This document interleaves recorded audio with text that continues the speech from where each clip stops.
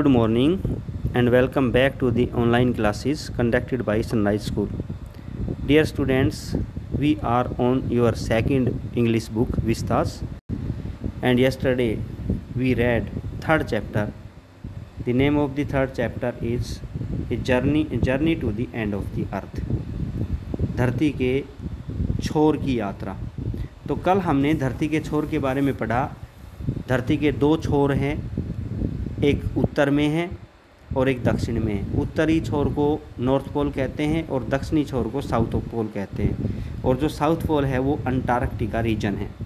यह हमारे पृथ्वी का एक महाद्वीप है। एशिया, अफ्रीका, उत्तरी अमेरिका, दक्षिणी अमेरिका और उसके बाद ये चौथा बड़ा महाद्वीप है अंटार्कटिका। तो हमने कल पढ़ा, अंटार्कटिका पर इतनी सर्दी है कि यहाँ सर्दियों में टेम्परेचर माइनस एक डिग्री तक पहुँच जाता है। इसलिए वहाँ किसी भी प्रकार के जीवन की कल्पना करना असंभव है। दूसरी बात, वहाँ जहाँ भी दिखाई दे दूर दूर तक, बर्फ़ के पहाड़ दिखाई देते हैं, बर्फ़ का सागर दिखाई देता है। पृथ्वी का एक और सिरा है, जो मैं अभी बता रहा था, नॉर्थ पोल। सर्दी तो नॉर्थ पोल पर भी बहुत ज़्यादा पड़ती है, वहाँ पर भी बर्फ़ जमी रहती है। लेकिन वहाँ का जो हाईएस्ट टेम्परेचर है, जो सर्दियों में सबसे कम होता है, वो है माइनस पचास डिग्री और माइनस तेरह डिग्री के बीच रहता है। और जब गर्मी का मौसम आता है नॉर्थ पोल पर तो वहाँ टेम्परेचर ज़ीरो डिग्री के आसपास पहुँच जाता है। इसलिए वहाँ पर कुछ से जीव वहाँ पर पाए जाते हैं। और थोड़ी जो, कुछ ऐसे भी स्थान हैं, हालाँकि ये पूरा सागर है नॉर्थ जो पोल है, जिसको हम आर्कटिक सर्कल बोलते हैं, आर्कटिक, ये पूरा एक महासागर है, लेकिन ये बर्फ़ से जमा रहता है। तो महासागर पर भी बर्फ़ जमी रहती है। फिर भी यहाँ कुछ जीव जंतु अवश्य मिलते हैं और कुछ एक इलाके हैं जहाँ पर जनजातीय लोग भी रहते हैं, जो कई हज़ार सालों से यहाँ रहते आए हैं। जैसे आपने सुना है ध्रुवीय भालू वगैरह, ये वहीं नॉर्थ पोल में मिलते हैं। लेकिन दक्षिणी पोल में तो टेम्परेचर बहुत ही डाउन होता है, इसलिए वहाँ पर जीव जंतु नगण्य हैं, नाम मात्र के हैं। तो जो ये साउथ पोल है, जिसको हम अंटार्कटिका कहते हैं, इस महाद्वीप पर लेखिका जाती है और द राइटर तिसानी दोषी है यहाँ पर। ये वहाँ जाकर रिलेट्स हर एक्सपीरियंस अपने अनुभव बता रही है कि वहाँ उसको कैसा अनुभव हुआ अंटार्कटिक पर जाकर, साउथ पोल पर जाकर। कल मैंने बताया था कि यहाँ छः महीने की, के दिन और छः महीने की रातें होती हैं। जब यहाँ पर दक्षिणी ध्रुव पर छः महीने का दिन चल रहा होता है, उस दौरान उत्तरी ध्रुव पर छः महीने की रात चल रही होती है। और उत्तरी ध्रुव पर जब दिन चल रहा होता है छः महीने, तब दक्षिणी ध्रुव पर रात चल रही होती है, क्योंकि पृथ्वी का ये जो दोनों छोर हैं, ये बिल्कुल एंड पर हैं और सूर्य के सामने एक हिस्सा लगातार छः महीने तक रहता है। जैसे नॉर्थ पोल है, वहाँ पर 20 मार्च से और 23 सितंबर के बीच छः महीने तक सूर्य उदय होता है। सूर्य उदय होता है, फिर धीरे धीरे धीरे धीरे आसमान में चढ़ता है। जैसे हमारे यहाँ पर छः बजे सूर्य उदय हुआ, बारह बजे हमारे आसमान के शिखर पर पहुँच जाता है। लेकिन यहाँ पर नॉर्थ पोल में सूर्य उदय होता है और लगभग तीन महीने में जा कर के शिखर पर पहुँचता है और तीन महीने के बाद फिर धीरे धीरे ढलना शुरू होता है और छः महीने के बाद अस्त हो जाता है। तो जैसे ही यहाँ अस्त होता है तो सूर्य दक्षिणी ध्रुव पर निकल आता है, अंटार्कटिका पर निकल आता है और फिर अंटार्कटिका पर भी छः महीने दिन रहता है। तो ये आपने पढ़ा, कल मैंने आपको बताया। तो यहाँ पर writer Tishani Doshi relates her experience at Antarctica. She went there with a Russian research vessel Shokalskiy she was on a program called Students on Ice, headed by a Canadian Geoff Green, who takes the high school students to the Antarctica to study the effects of global warming कल हमने global warming के बारे में भी थोड़ा ज़िक्र किया था। ये आगे हम और डिटेल से समझाएँगे। The temperature of earth is rising and it causes great destructions to the earth तो जितना भी तापमान बढ़ता जाएगा, उतना ही पृथ्वी पर विनाश बढ़ता जाएगा।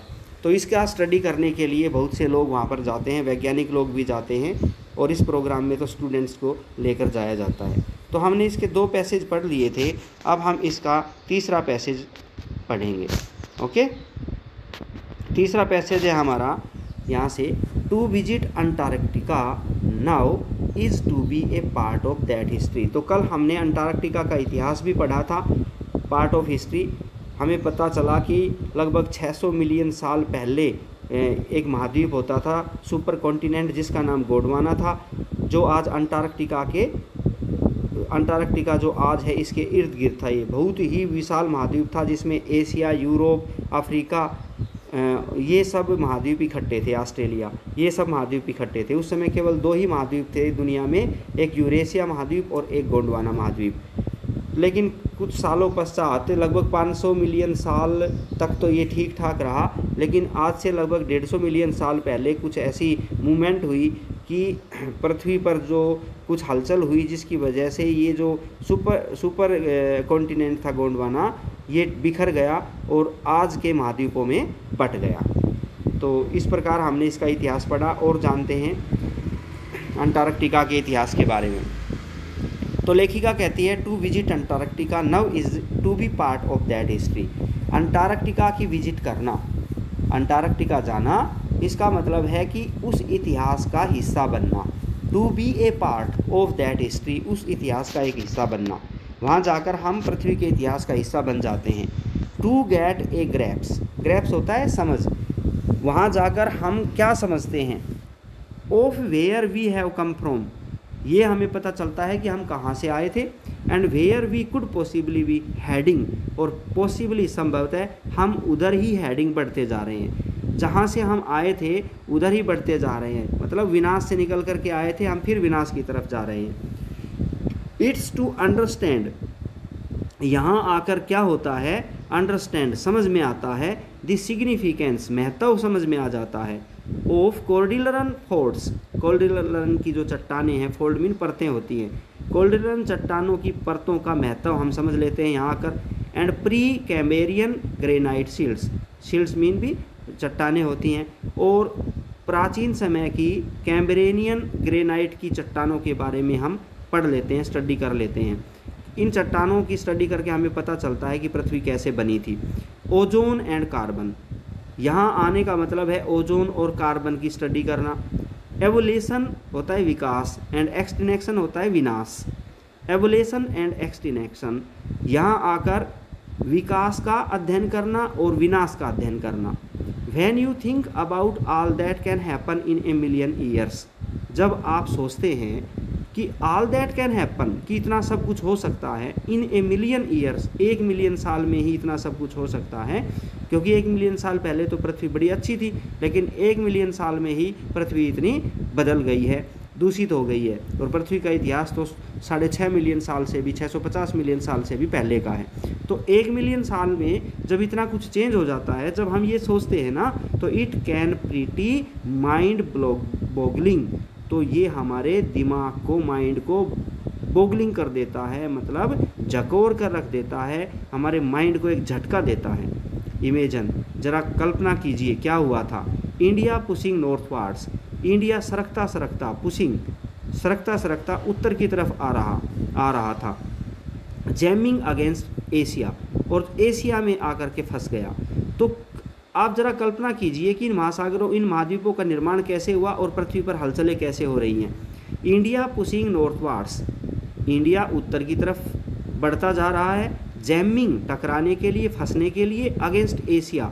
एशिया के साथ फंसने के लिए धीरे धीरे इंडिया सरकता जा रहा है ऊपर। To buckle its crust. Buckle mean तोड़ना। क्रस्ट होता है किनारे। और एशिया महाद्वीप के किनारों पर टकराकर इसके किनारों को तोड़ता जा रहा है India.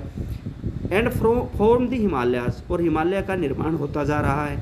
इंडिया के टकराने से, एशिया के साथ इंडिया के टकराने से ही हिमालय पर्वत का निर्माण हुआ था।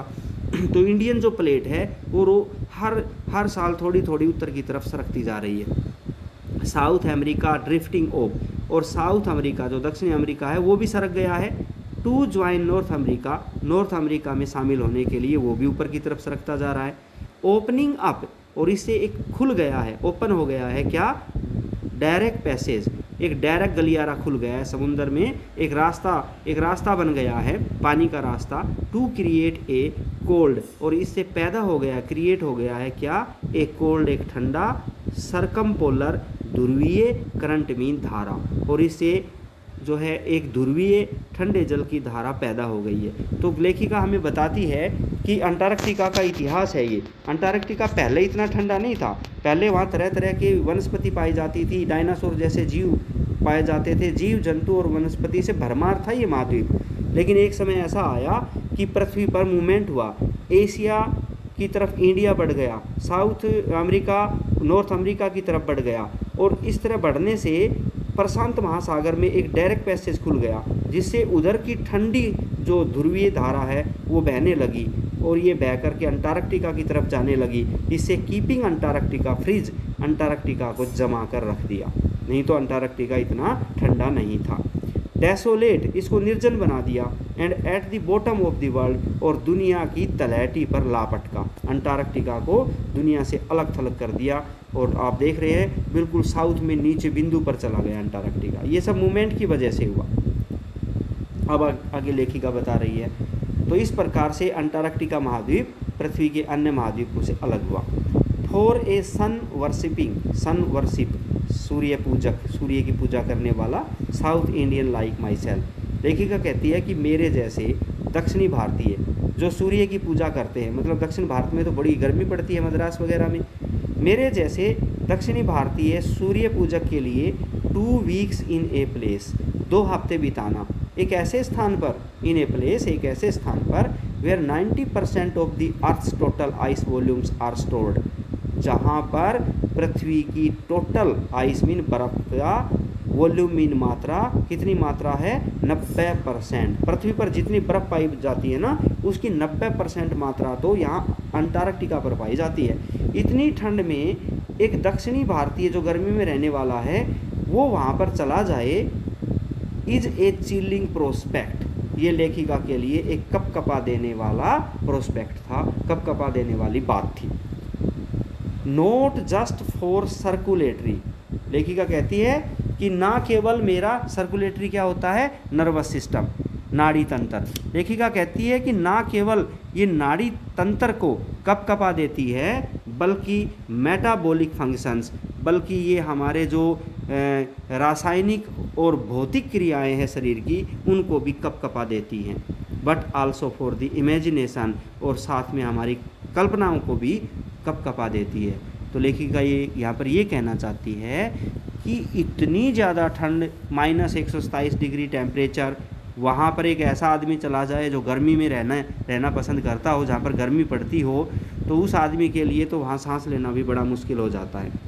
It is like walking in a big into a big या जॉइंट होता है बिग पिंग पोंग बाल पिंग पोंग होता है खोखली। यहाँ जा कर के ऐसा लगता है मानो हम किसी बड़ी सी खोखली गेंद के अंदर चले गए हैं। पिंग पोंग मीन खोखली। ऐसा लगता है, मानो हम यहाँ किसी खोखली गेंद के अंदर चले गए हैं। जहाँ पर देखिए आगे। It is like walking into a giant ping pong ball and divide और जहाँ पर नहीं है डिवाइड मीन वंचित है। यहाँ पर क्या नहीं है ऑफ़ एनी ह्यूमन मार्कर्स इंसान के कोई चिन्ह यहाँ पर दिखाई नहीं देंगे। अंटार्कटिका एक ऐसा है, मानो कि कोई बड़ी सी पिंग पोंग गेंद है और जहाँ पर मानवता के कोई चिन्ह नज़र नहीं आएँगे। You lose all earthly sense. यहाँ आकर के आप अर्थली मीन पृथ्वी से संबंधित जितने भी पृथ्वी से संबंधित जितने भी सेंसिज हैं, सेंस ऑफ़ प्रोस्पेक्टिव्स हैं। प्रोस्पेक्टिव होते हैं परिदृश्य। यहाँ पर पृथ्वी के जितने भी परिदृश्य हैं, वो दिखाई नहीं देंगे। आप यहाँ पर खोदोगे उन परिदृश्यों को नहीं दिखाई देंगे। एंड टाइम हेयर और समय, यहाँ आकर के हम समय को भी भूल जाते हैं, क्योंकि छः महीने तक लगातार सूर्य दिन रहता है। तो यहाँ आकर हम समय को भी, और पृथ्वी से संबंधित जितने भी परिदृश्य हैं, उन सबको हम यहाँ आकर के भूल जाते हैं। The visual scale ranges visual mean देखने की, दृष्टि की स्केल मीन सीमा। दृष्टि की जो सीमा है, वो कहाँ तक रेंज उसकी रेंज कहाँ तक जाती है हमारी निगाहें? फ्रॉम दी माइक्रोस्कोपिक माइक्रोस्कोप होता है अति सूक्ष्म जीव जो माइक्रोस्कोप की मदद से सूक्ष्मदर्शी की मदद से देखे जा सकते हैं। यहाँ आकर के हम देखते हैं कि हमारी जो नज़रों की रेंज है, दृष्टि देखने की जो ताकत है, वो सूक्ष्म जीवों से लेकर टू दी माइटी विशालकाय जीवों तक बन जाती है। क्योंकि यहाँ पर कोई रुकावट नहीं है। हमें सूक्ष्म जीव भी दिखाई देंगे। बिल्कुल सफ़ेद चादर बर्फ़ की ढकी हुई है और हम विशाल जीवों तक देख सकते हैं। Midst and mites. मिड्स और ये क्या होते हैं? क्षुद्रतम प्राणी होते हैं। ये बिल्कुल छोटे छोटे कीट पतंगे होते हैं मिड्स एंड माइट्स। यहाँ कीट पतंगों से लेकर के टू ब्लू व्हेल्स नीली, जो बड़ी बड़ी व्हेल होती हैं, नीली, उनको हम देख सकते हैं। एंड आइसबर्ग्स और बर्फ़ के जो पहाड़ हैं आइसबर्ग होते हैं, बर्फ़ के टीले एज बिग एज कंट्रीज़ बर्फ़ के टीले तो देशों जितने बड़े हैं बड़े बड़े बर्फ़ के पहाड़ हैं। The largest recorded was the size of Belgium यहाँ पर जो बर्फ़ का सबसे बड़ा बड़ा पहाड़ है, उसको रिकॉर्ड किया गया था कि वो बेल्जियम देश से भी ज़्यादा बड़ा है। तो इतने बड़े बड़े बर्फ़ के पहाड़ खड़े हैं वहाँ पर।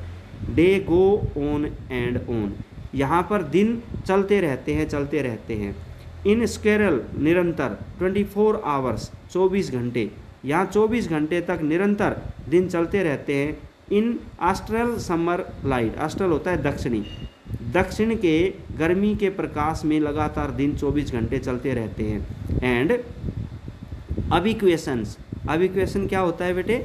मतलब अटूट साइलेंस, खामोशी छाई रहती है। यहाँ पर एक सर्वव्यापी सन्नाटा। अभी क्वेशियस कहेंगे हम सर्वव्यापी।